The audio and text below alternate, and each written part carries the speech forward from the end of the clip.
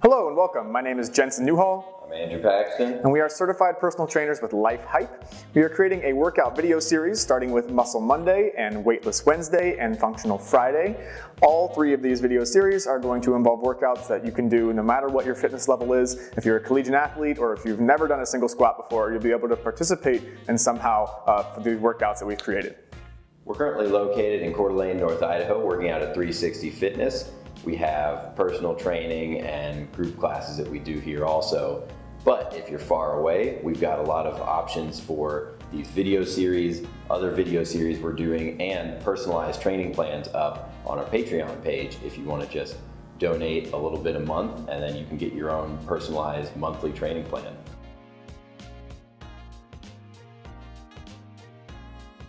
Welcome to Functional Friday. This is our video series focused on exercises that are geared towards functional movement. Things you'll need today if you have access to them are some TRX straps or a similar strap and some dumbbells.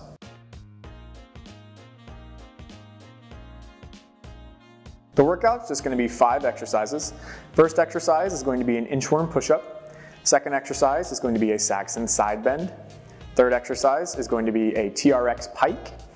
Fourth exercise will be a decline plank walk, and your fifth and final exercise will be a one leg, one arm shoulder press. Follow along with us as we run through those exercises.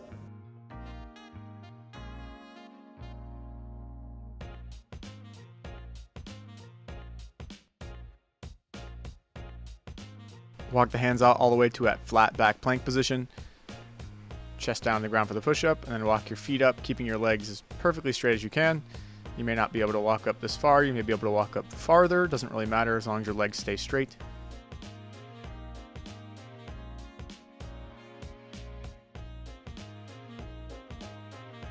Don't sag the hips in that plank position. Nice flat back plank, chest straight down to ground.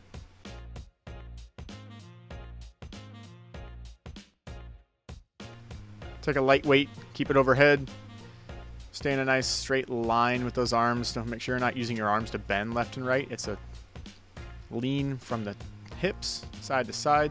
You can have those feet anywhere from touching to about this distance here, about shoulder width. Take it slow, go as far as you can.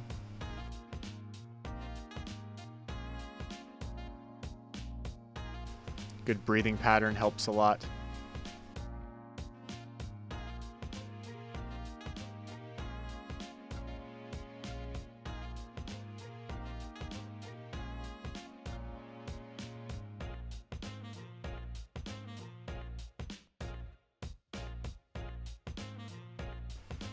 Strap should have your feet about uh, plank height off the ground. Notice I'm using a plank position, using a nice level, flat back. Pull the butt up as high in the air as you can. Difficult one if you need to. You can do short little bursts, short sets.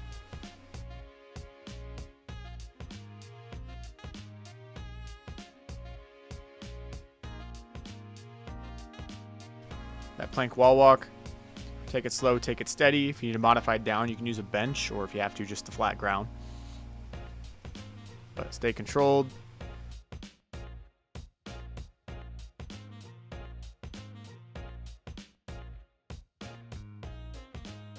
The second clip here is Andrew taking his feet a little bit higher, which if you can, to try to do so.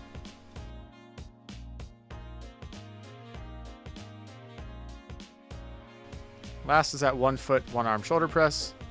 Try to keep that other leg up off the ground somewhere around a 90 degree angle. Really take your time to fight for that balance. See if you can stay on that one foot for your entire set. Nice controlled range of motion. Weight gets the full extension overhead.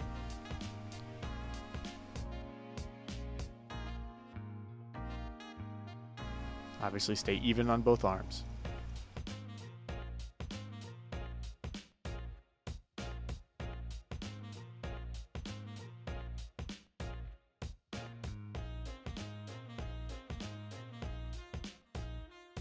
Thanks for working out with us on this Functional Friday. Remember, we've got Functional Fridays, we've got Weightless Wednesdays, we have got Muscle Mondays, all different workout series you can follow along with. We've also got a website you can check out at lifehype.org.